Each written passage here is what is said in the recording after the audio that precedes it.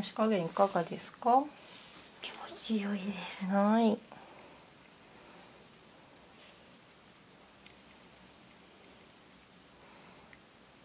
ちょっと緩んできましたね。うん。うん。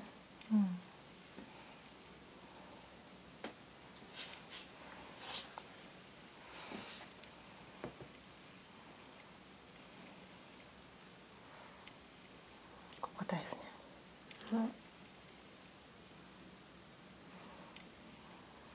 ちょっと炊きます。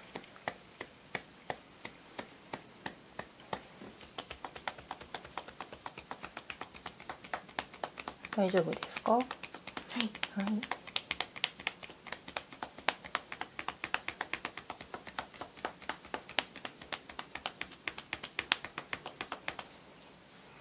ちょっと穏やかな気持ちになってきましたかね？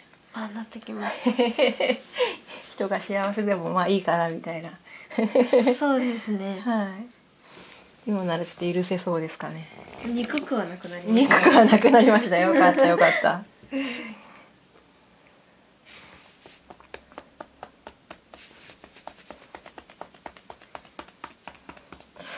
そういうのいいと思いますけどね。そういうこと言っていった方がみんななんかあみそうなんだなみたいな。ううんん、もはさんもそうなんだったら一緒だなみたいな 感じで共感を得ていいと思います。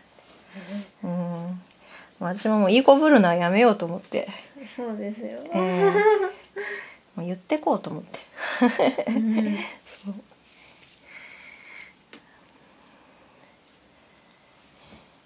結局だっていい子ぶるアイドルって寿命短いじゃないですか、そうですね。ゆうこりんとかもも破滅しましたもんねだからうんね。みんな破滅の道に行くんですよそうそう無理するとそう破綻するんですよね。なんかほころびが出てくるというか。うんうん。すごい期間限定感あるじゃないですかそうですね。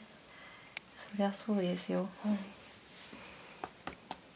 やっぱみんなね、そんなね、人間だからね、はい、いろいろ思うことはありますよね。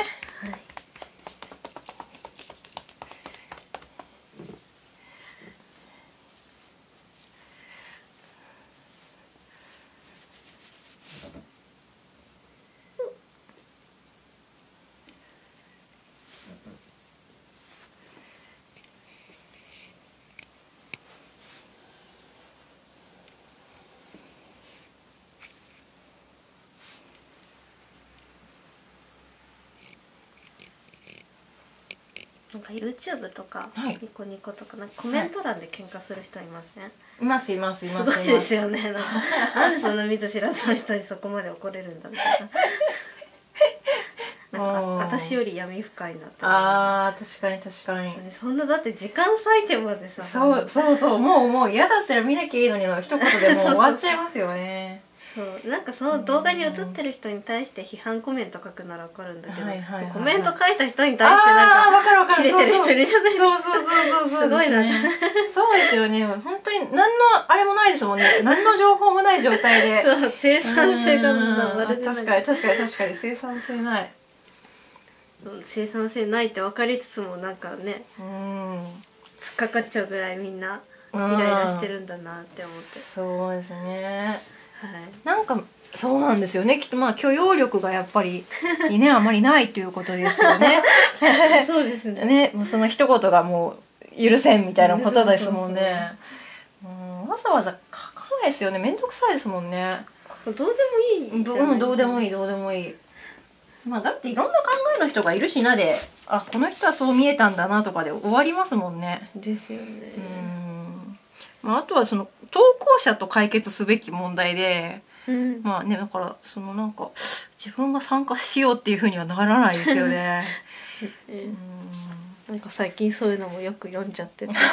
あのスマホ見すぎだろみたいなそれもそれも問題ですね。そのどうでもいい争いを見ているって。そうどうでもいい争いをロムってる私が一番生産性ないんですよ。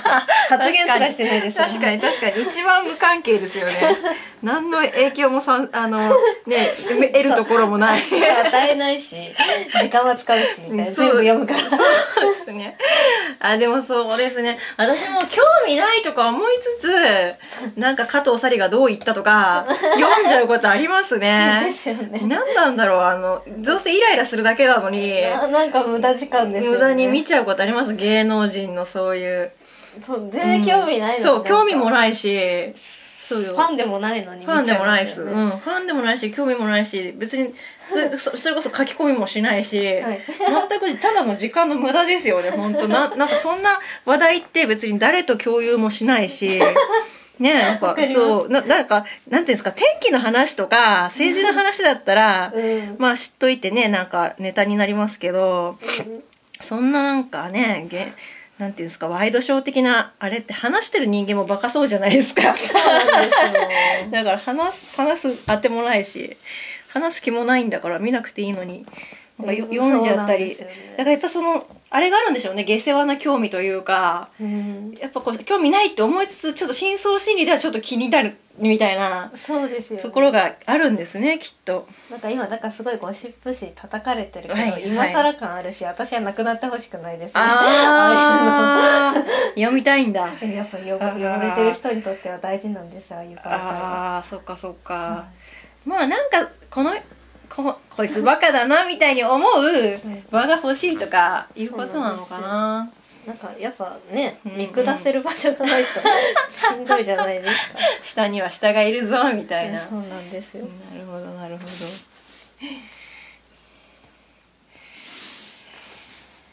だからなんかそれでなんか書き込まれて引退するんだったらそれはね、その人のメンタルの弱さで別になんかまあ売れてたんだからいいじゃないとしか私は思わないから、まあ確かに。あ言ってましたよね。なんか、私は話題にもならないっていう そう。見事誰それになっちゃうみたいな書いてましたね。うん。ななんかそうですね。う、ん。確かに。なんかその話題になるだけ関心を持たれてるってことだから、そうなんですよ。ある種いいことですよね。うん。どうですか？さっきより痛くなくなりましたかね？あはい気持ちいいです、はーい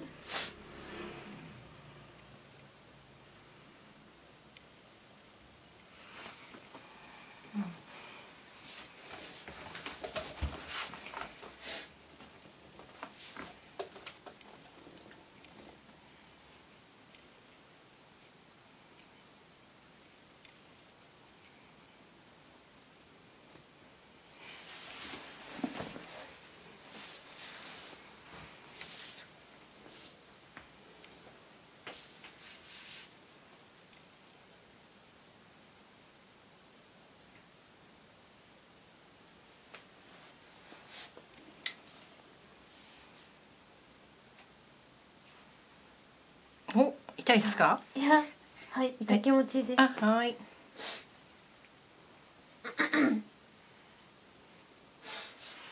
何ですかね？だいぶうんあの頭皮うん。うんねちょっと弾力出てきたかなと思いますね。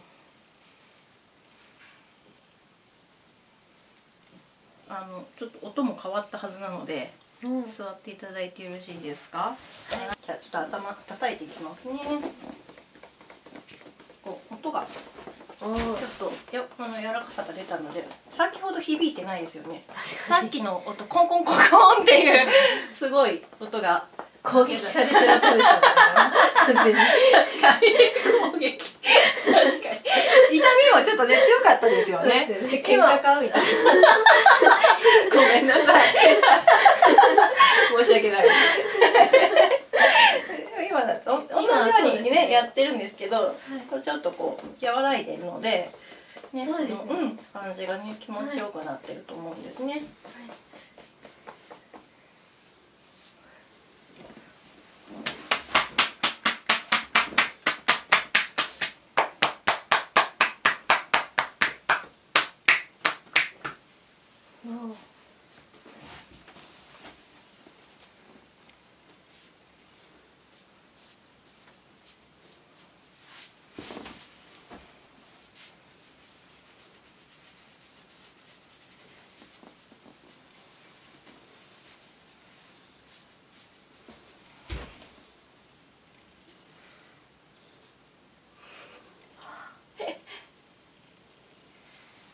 疲れ様でした。あはい。いかがですかね。いやーすっきりはい、で すすっきり。春朝の感想もいただきましょうはいか。はい。私あの美容院行くと必ずヘッドスパやってもらあ、うんですけどはいはいはいはい全はい。然気持ちよくなくて、へそれ。毎回5000円取られてクソと思ってたんであおー、それは高いですね。はい、いいですこれあ、よかったです。はいおー美容室と比較してこちらの方が好きだった。あいいですいいです。よかったよかった。全然もうみんなも美容室でヘッドスパ受けないようにっていうぐらい 本当に良かったです。多分ちょっと硬すぎて痛いになっちゃうんですそうなんかですね。よ。なんうん。かしんちゃんのグリグリやられてんのと変わんないみたいな。それでなんか20分経過してはいじゃあ5000円みたいな。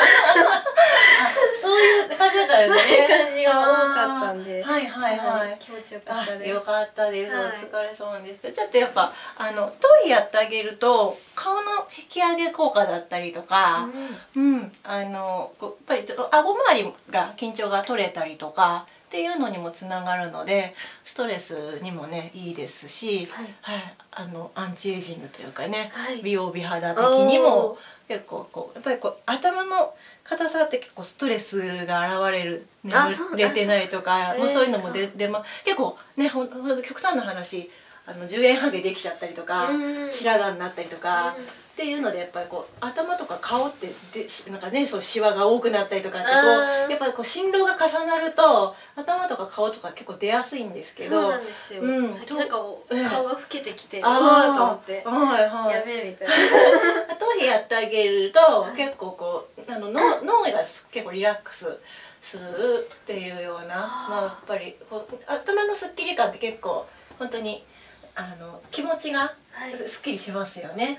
ははい、それでやっぱお顔にもこうあのひ引き上げリフトアップ効果も実際ありますし、へうんあの結構やっぱりこうなってくるじゃないですか。顔が険しく。石頭だとそうそうなりますそうそううそうなんですよ。ほぐしてこう持ち上げてあげる感じになるのであの顔がね和らいで表情も明るくなったりとか、はい。顔色良くなったり。でそういう作用もございますので、はい。はい。まあ、美容なの関心がある方はい。にもね、頭とすっきり感を味わってみたい方にもはい。ぜひあのおすすめの、はい。ね、コースになっております。はい、お疲れ様でした。